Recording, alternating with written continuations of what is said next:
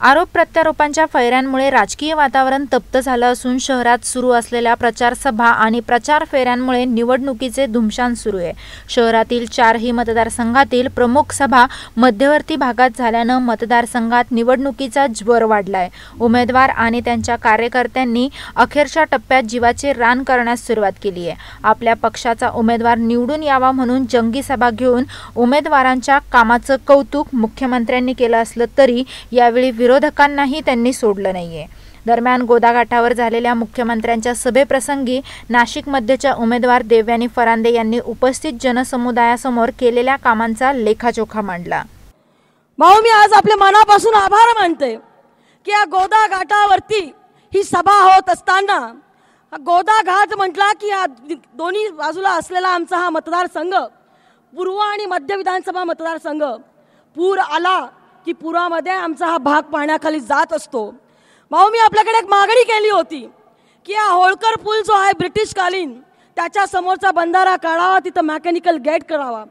नदी पात्रामधला गाळ काढावा आणि ह्या कॉन्क गोदावरी नदीमध्ये टाकलेला कॉन्क्रीटचा ब्रेड काढावा.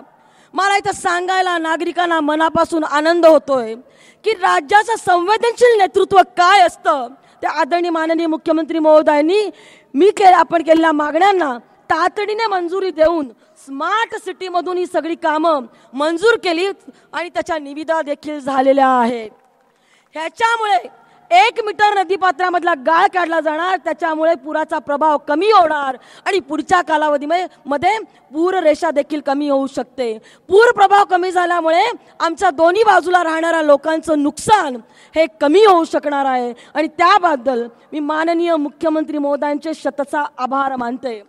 भाऊ आमदारांना दोन कोटी रुपयाचा निधी असतो. परंतु दोन कोटी निधीच्या पलीकडे जाऊन आपण आम्हाला खूप मोठा निधी.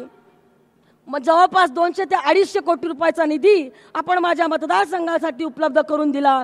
त्याबद्दल मी नाशिक मध्य विधानसभा मतदारसंघाच्या नागरिकांच्या वतीने आपले मनापासून आभार मानते. फक्त एक दोन विनंती करते. भाऊ हा गावठाणचा भाग आहे सगळा आणि आमच्या गावठाणच्या नागरिकांचे प्रश्न खूप वेगळे आहेत. अरुंद रस्ते भिंतीला भिंत लागून आणि आमचं हे जुनं नाशिक आणि याचं चित्र पलटायला पाहिजे. परंतु गेल्या पन्नास वर्षामध्ये कुठल्या सरकारने याच्यावरती लक्ष दिलं नाही? भाऊ मी मागच्या वर्षी आपल्याला विनंती केली. आणि आपण इतक्या तातडीने पत्रव्यवहार महानगरपालिकेकडे केला आणि अहवाल मागवला. महानगरपालिकेने आज त्याचं इम्पॅक्ट असेसमेंट रिपोर्ट करायची निविदा प्रसिद्ध केलेली आहे.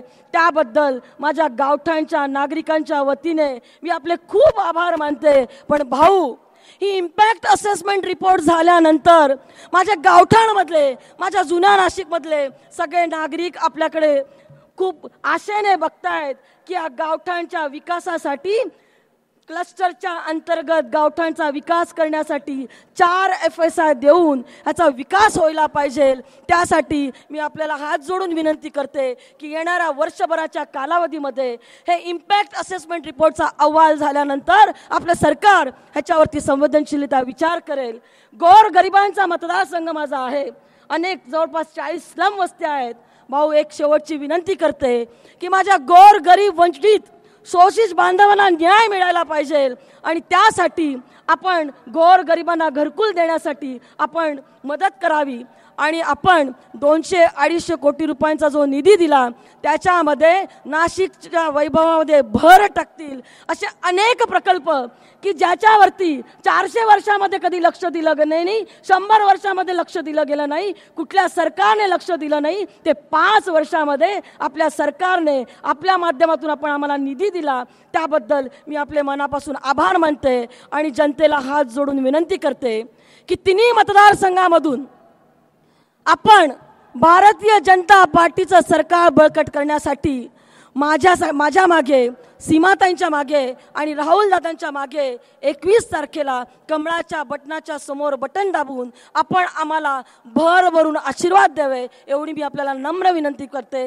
दरम्यान मुख्यमंत्र्यांच्या या सभेला नाशिकमधील जनतेनं मोठ्या संख्येनं उपस्थिती लावल्यानं तीनही मतदारसंघात पुन्हा भाजपचेच आमदार निवडून येतील असं चित्र सध्या तरी दिसू लागलंय.